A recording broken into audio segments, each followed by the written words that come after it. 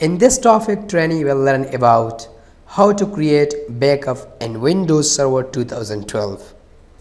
In today's video you will learn how to create a backup of the system state Active Directory using the Windows Server Backup feature in Windows Server 2012. In my previous video I explained how to install Windows Server Backup feature in Windows Server 2012. In today's video you will learn how to create a backup of the system state and Active Directory using the Windows Server Backup feature in Windows Server 2012. Just as until now you have already installed the Windows Server Backup feature, now we will move forward from there. Open Server Manager go to the tools option provided by the server manager. Left click on it and scroll down to the windows server backup option. Click on windows server backup.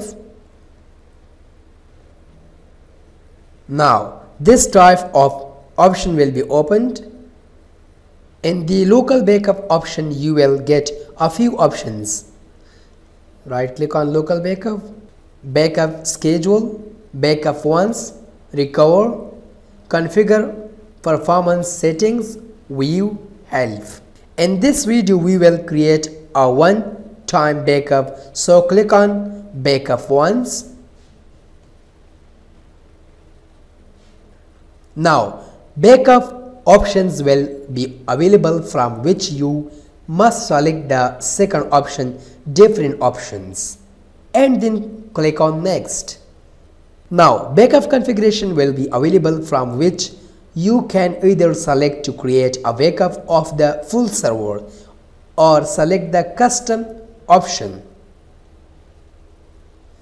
That will give you freedom to choose from various options for creating a backup.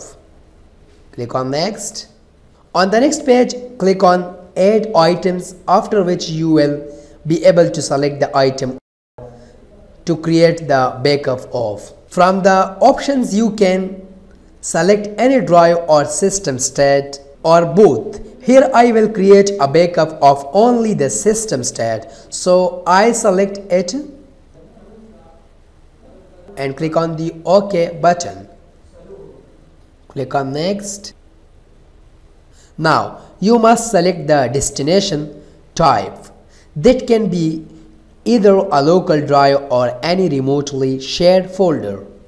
Click on next. Since here I selected the local drive, it will ask me in which drive I would like to create the backup and how much space is available and that drive after that click on next total space and backup destination. Free space and backup destination. Click on next. Now a confirmation page will be shown that will show you the full details of whatever you selected and will finally ask you to give permission to create the backup. Click on backup to start the backup